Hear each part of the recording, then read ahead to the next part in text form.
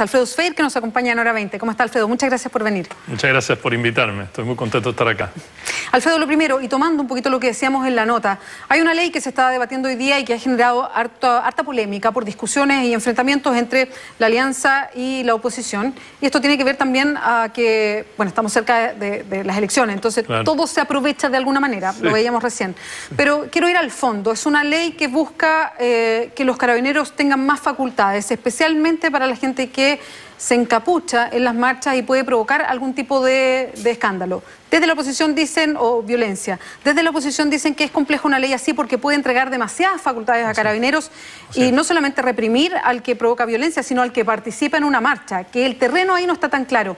¿Qué piensa usted, Alfredo? ¿Cómo se posiciona usted como candidato presidencial frente a leyes como esta? Mire, yo en primer lugar quiero decir de que yo estoy contra cualquier tipo de violencia. Y hay que especificar esto, violencia física, lo que pasa en la calle, pero también la violencia económica, la violencia étnica, la violencia social.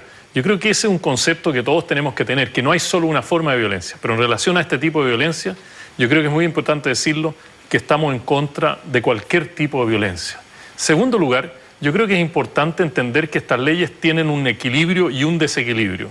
El equilibrio es lograr, digamos, una paz social. El desequilibrio es la pérdida de las libertades personales. Yo viví en Estados Unidos, donde este proceso se llegó a que primero uno está, eh, no puede haber sospecha, no, puede detener gente por sospecha. Después entró eso y se van perdiendo libertades, los teléfonos, eh, los computadores. O sea, realmente tenemos que tener mucha cautela, se necesita mucha madurez y mucha firmeza en eso.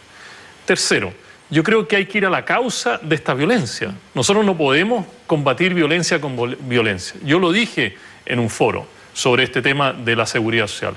Si nosotros buscamos sistemas de violencia contra violencia, al final vamos a ser todos carabineros o todos vamos a estar en la cárcel. Eso no puede seguir así.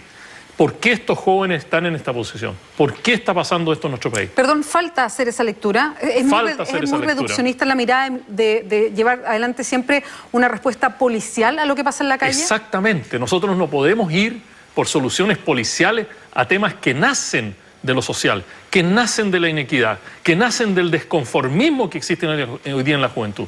Por eso nosotros hemos propuesto muchos programas, como inversiones, que llamamos inversiones inteligentes en los barrios vulnerables, en los cuales haya deporte, recreación, interacción humana, arte, música, literatura, que la comunidad entre en eso programas nacionales para los jóvenes. Nosotros hemos dicho que vamos a crear un ministerio de los jóvenes, no como un eslogan. Yo creo que es importante que ellos mismos entren en los temas que ellos están confrontando hoy día, educación, infraestructura, salud, seguridad, etc. Este es un tema social que hay que combatirlo socialmente.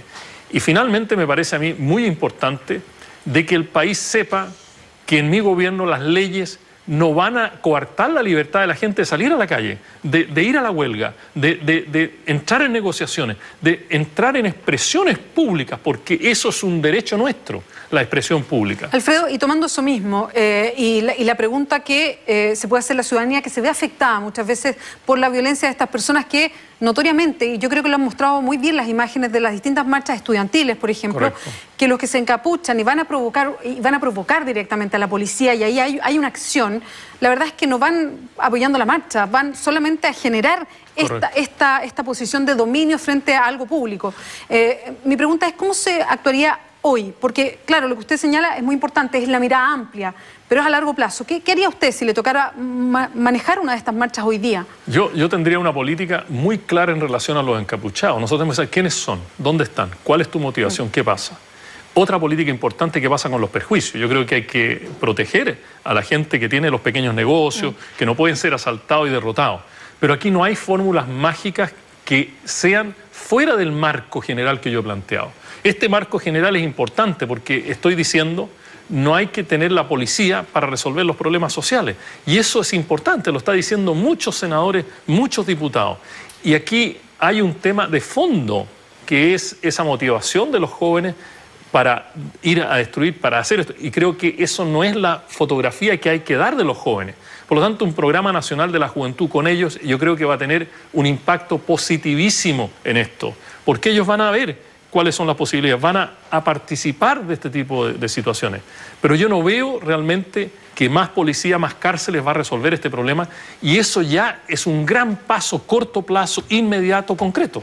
De lo contrario, va a continuar esta, esta escalada, ¿no es cierto? Porque ya es como una escalada. Eh, un día 10, otro día 20, 40, es como jugar al pillarse, uno pilla al otro. Y creo que esto no le hace bien ni a los jóvenes, no a la ciudadanía y tampoco le hace bien a los carabineros. Yo creo que poner a los carabineros de Chile en la posición de violencia de nuevo, ¿me entiende? Que ellos son los violentos del caso, yo creo que eso es un camino muy peligroso que finalmente vamos a terminar lo que pasó en años anteriores, ¿no es cierto?, en que la ciudadanía identificaba al, cuerpo de carabineros como los torturadores, los, los violentos. Yo creo que eso hay que cambiarlo ya. Nosotros no vamos a usar así digamos, el, tema de los carabineros. Alfredo, ahora me quiero pasar, a, este es uno de los grandes temas, ¿sí? ¿ah? de debate permanente. esto va a seguir, ¿ah? Absolutamente, y sobre todo en campaña.